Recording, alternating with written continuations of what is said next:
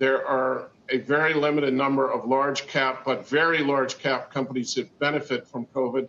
And there are hundreds of companies that get hurt by COVID.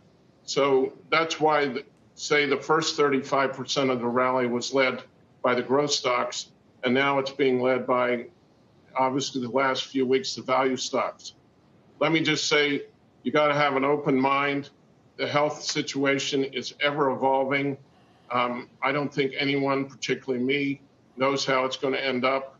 Um, personally, I have still something like Amazon and Microsoft are my largest holdings, but I have the least growth weighting in my portfolio I've had maybe for six or seven years.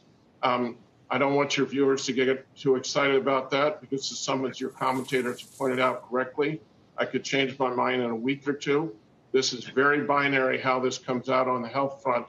But I just think it's a fascinating time where if you get a vaccine, say by January, February, you get one distinct outcome within the market.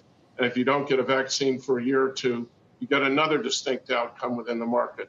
Then you've got all the stimulus plans. If they deliver in July, you get one outcome. If they don't, liquidity falls off a cliff and you get another outcome. So, as always, I'm staying flexible, um, but I've been far too cautious. I was I was up 2% the day of the bottom, and I've made all of 3% in the 40% rally, and I missed a great opportunity here. Won't be the last time, but um, those are my current thoughts, Joe.